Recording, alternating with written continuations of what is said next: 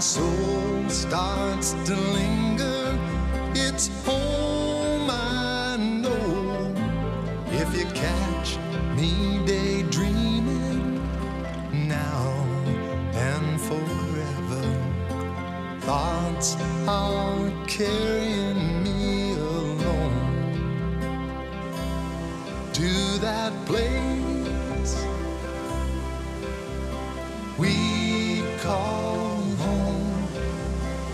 Down that long road, throughout life we roam.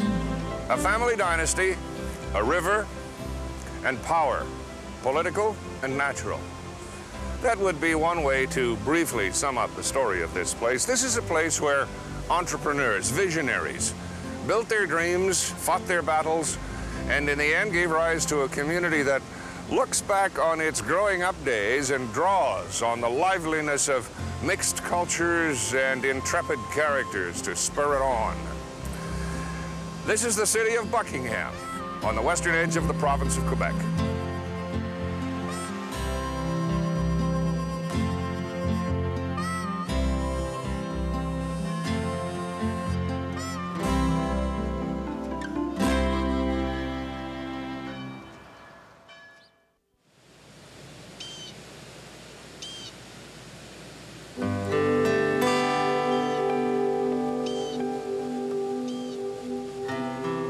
Beauty of the water scenery of this part of the river struck us as surpassing anything of the kind we had ever seen.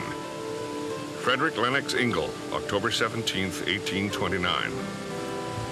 Assigned to a government survey, Ingall's comment would be reiterated through the years. Lady Dufferin and the Marquis, one-time Governor General, trekked out from Rideau Hall to see it for themselves. The christening of Dufferin Falls concluded their visit. Straddling this water scenery, a village scratched its foothold into the Laurentian bedrock some 100 years ago.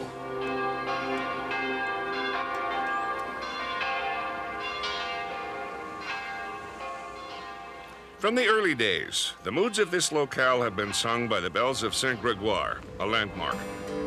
This is a community whose personality has been forged by decades of die-hard struggle, times of joy, and periods of just hanging on. Grown to become the largest center in Papineau County, along its sidewalks, everyday conversations shift with ease between French and English. The city of Buckingham, population 10,000, is cradled in the valley of the Lièvre River, and the valley has nurtured her since the beginning.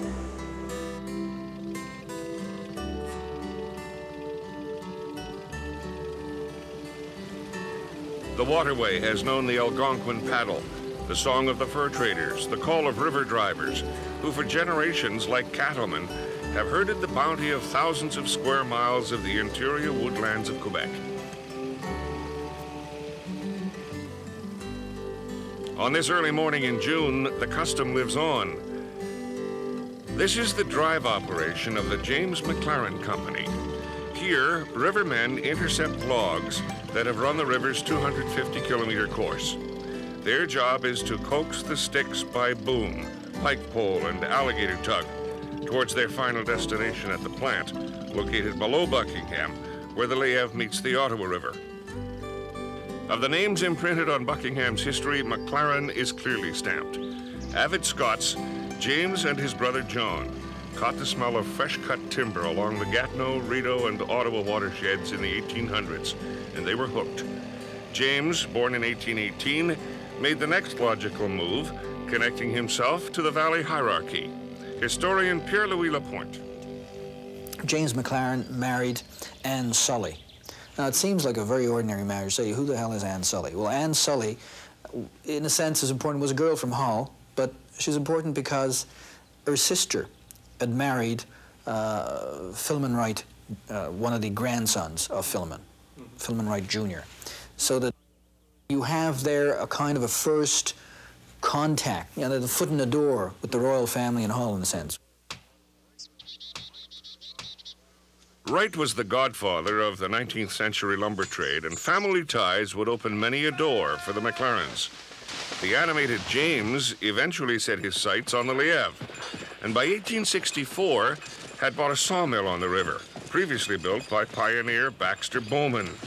McLaren was now on the road to creating an empire, which would eventually extend from Quebec to British Columbia, encompassing not only lumber, but railway building, mining, and financing. One of the main roles of James McLaren in the Ottawa River Valley, as such, is his role as founder and first president of the Lumbermen's Bank. It was called a Lumbermen's Bank, but I mean it was the Bank of Ottawa.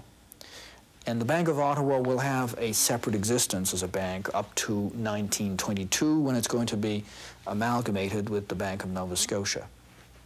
Uh, so that this uh, Ottawa Valley Bank, well, James McLaren will be president of that bank from 1874 to 1892, up to his death. And he'll be, uh, he'll be a key character in everything that's, uh, you know, every, every financial operation in the Ottawa Valley. Within 20 years of the union of Upper and Lower Canada, the landing above the falls took on significance as a holding pen for floating cargo.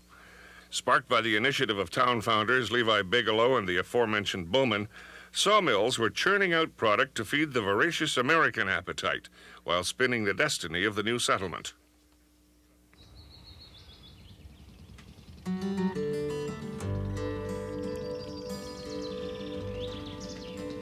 It is now noon, upstream from Buckingham, and the pulp logs have reached High Falls, which at one time rivaled Niagara. Today the river is silenced, harnessed for electric power. With the payload on schedule, the drivers funnel it into a conduit for the next leg of the journey, 20 stories below.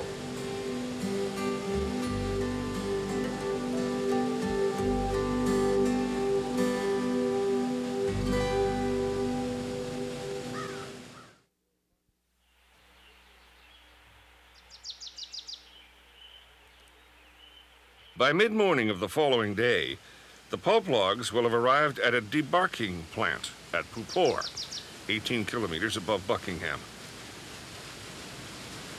Here, 120,000 cords are processed each season.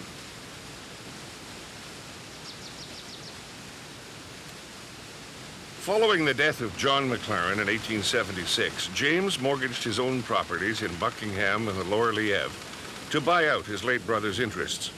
Calvinist principled, he surrounded himself with his kinsmen, but never forgot his simple beginnings. James McLaren was very serious-minded, was a hard worker, you know, the kind of guy that worked day and night to build his empire. Anyone who worked hard, he would respect. It's the Protestant ethic kind of, of man. Because he respected work, he also respected workers, the ordinary worker also so that he would love sometimes to uh, go into the shop himself and, and, and, and work with his men, just to be close to the men. As the McLaren clan grew in numbers, by the 1880s there were six sons and two daughters, the family influence became more widespread, the aristocracy of the Lièvre. The region's economy was bolstered with mineral finds, and this, along with the sawmills, attracted workers. Demographic scales tipped to a majority French-Canadian population, seconded by Irish. The village was now a town, with social activities centered at the marketplace. Then suddenly, in 1892, James McLaren was gone. The death of the old man proved to be a watershed in the development of the community. In the decade that followed, on the one hand, there would be promises of a bright future, a new tomorrow. On the other hand, there would be unprecedented events that would shake the town to its very foundations. In addition to his other notations, Ingall's Journal of 1829 remarked on the presence of minerals in the area. But it wasn't until the 1860s before speculation had become a serious business. Prospector inventor Leo McDonnell. Mica was first started by uh, the ordinary individual, which it was uh, a poor man's mineral. They could take a pick and then pick it out and load it into a pack sack on their back and take it out and sell it for dollars, you see. That was the mica. When the mica started to run out, the feldspar came in.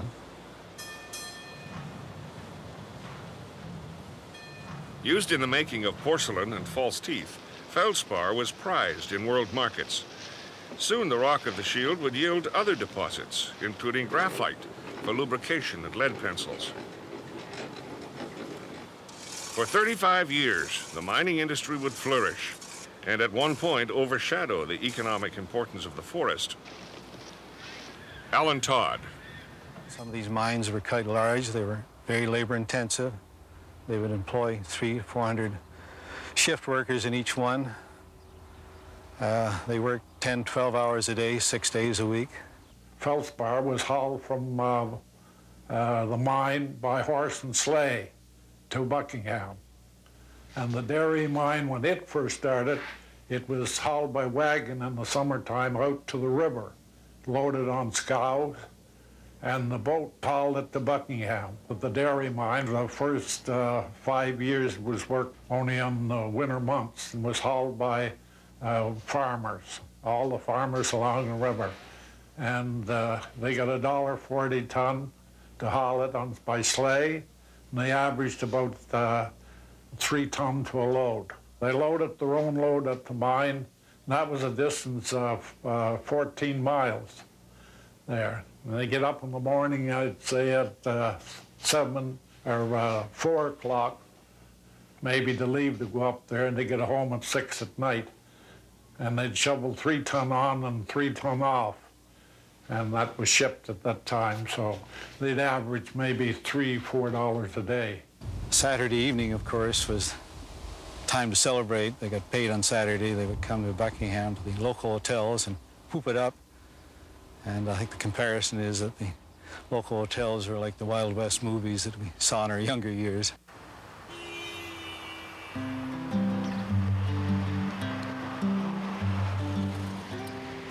The Wild West days have now quieted.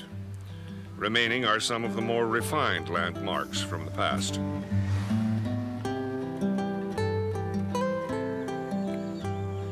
The mines at one point had kept 2,000 men on the payroll, and in a 10-year period at the close of the last century, the community's population increased by 50 percent.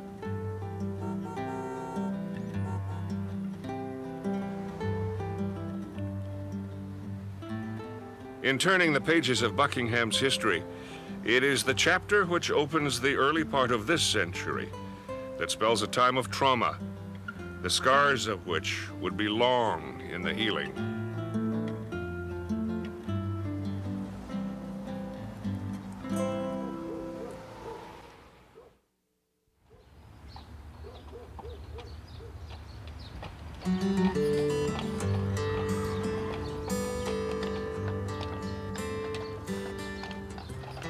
Not every phase of modern industry is best suited to mechanization.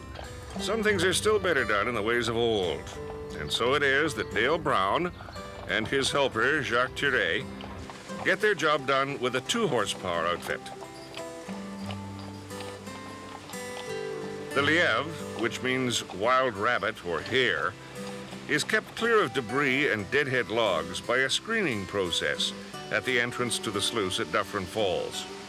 Allowed to dry, the logs are then returned to the river for the last run to the mill, marking the end of this three-day journey.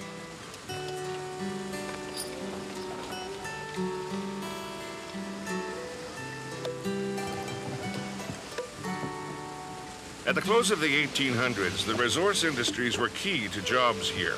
The mines were headed for a downturn, a twist of fate, for miners had sometimes earned double the wages of mill workers. Employment options were few. And then a new player arrived on the block. A new game came to town. A game that can only be compared in contemporary terms to something like the advent of the nuclear age.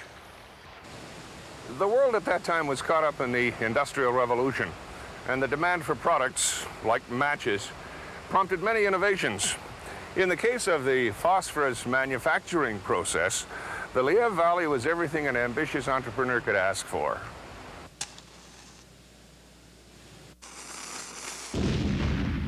Apatite rock, or phosphate, had come to the surface in 1875 and piqued the interest of international investors. At High Falls, Squaw Hill, and the Emerald Mines, companies sank big money into the ground, waiting for a payoff. The chemical engineers from Britain uh, saw these minerals, they saw the potential for electric power on the Lièvre River. And putting that together, they felt they could do something about it, and we had the beginnings of the chemical industry. The Electric Reduction Company of Canada was formed in 1897 with British capital and British engineers guiding the way. Within five years, they were in operation. They were selling phosphorus on the world market, and they were undercutting a large firm in Britain by the name of Albright and Wilson, who were leaders in providing phosphorus for the European market. Albright and Wilson elected to bring a patent lawsuit against the Buckingham operation and uh, tried to shut them down. A turn of events, they ended up not shutting them down, but buying the plant out and shutting their own operation in Britain down. And from then until 1930, all the phosphorus required in England was produced here at Buckingham, Quebec. Irony in the making. The Albright and Wilson operation brought a sunny day, new opportunities, alternative work. Meanwhile, at the Falls, while sawmilling continued, the McLaren operation had moved into pulp production for newsprint. But in the heat of the factory, the seeds of discontent were being cultivated. A sleepy unrest would turn into an unanticipated nightmare. In 1901, the James McLaren Company, which is made up of the, the sons of James, uh, the five sons, will buy out the Ross Mill on the other side of the river so that from that point on, there is a kind of a monopoly situation which exists on the lower Lièvre in, in that district because the James McLaren company will own outright all of the timber berths and all of the lumber slides on the river. So they'll have a, a pretty tight control over the lumber trade and over almost all of the good deal of the life and of the lifeline and the economic life of the, of the Lower Lièvre district. The cartel became a chokehold. Management lay in the control of Alex and Albert, who were colder and less sympathetic toward the ordinary worker, a contrast to their father. In the larger centers of the country, nearly 50 years earlier, labor had begun to organize to protect their interests. McLaren workers searched for alternatives. In 1906, what happens is that you have a very modest try by people who want to unionize. They were almost afraid of unionizing. They'd say, we don't want to form a union. All we're asking for is, is for the people that are only getting, uh, you know, a dollar twenty-five a day for a 10-hour day. We would like them to, to get an extra couple of cents an hour.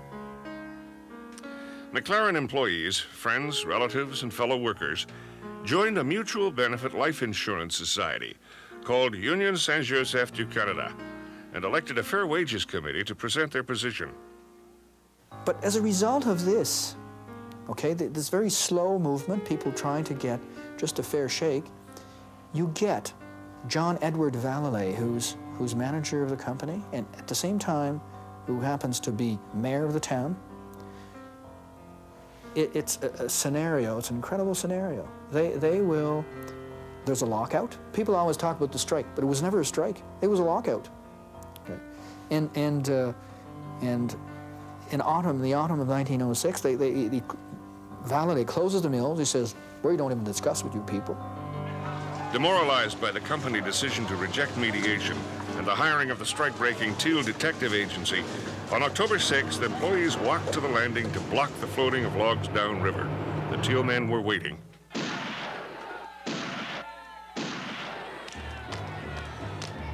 The town reeled, by nightfall occupied by the militia. This on the request of Vallely under the Riot Act. Two people were killed, two of the Union executive were killed. Others were, were, were maimed or were, were uh, uh, got bullet wounds. But uh, the, uh, the president of the Union, uh, Thomas Bélanger, he was only 25 years old, was really uh, a marked man because he, he, he was shot so many times. It's, it's incredible. The loss of Bélanger and Union Secretary Francois Thériault, the event itself, would forever leave its mark. Blacklisting forced many families to pack and leave, never to return. As for the killings, five were sentenced to six months in prison, ending a tragic marker in the story of labor in Canada. Blotting the past out of its collective consciousness, the town moved on. Mills reopened, wounds began to heal. But before peace would reign, one more battle when the Electric Reduction Company fought a lawsuit by the McLarens over water rights. So now we had the McLaren Company squared off against these chemical people and the townspeople of Buckingham. And this lasted for some years until the mid-1930s. A very interesting event came about. Uh, one of the founders of the uh, electric reduction company was William Taylor Gibbs. And his only daughter in the mid-1930s married uh, Barnett McLaren, one of the McLaren group. Here you had a young girl from one side and young bachelor from the other side marrying. And I was told, I wasn't here at the time, that all the church bells in Buckingham rang out on that day. Everybody rejoiced. Not only a happy wedding, but perhaps uh, the old animosities were dying, and I think they did.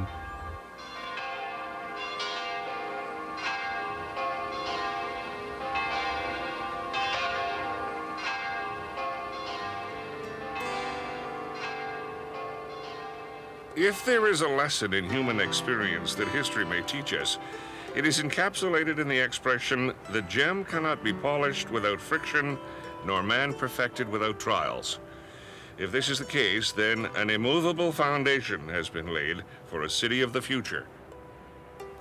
Frederick Lennox Ingall would have smiled. And so the drive continues. The sticks that travel this half man-made, half natural conveyor belt will become the newsprint for the morning papers in Detroit and Philadelphia. Together, the pulp and paper and the chemical industries flourish, providing an economic base for the region. That hub of Saturday activity, the old marketplace, is being restored. There is a perennial spirit here, born of the river itself, and that is the spirit of Buckingham, Quebec.